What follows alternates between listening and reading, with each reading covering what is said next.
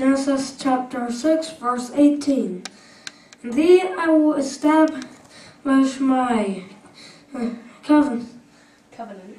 covenant, and thou shalt come into the ark, thou and thy sons and thy wife, thy sons' wives, thee with thee.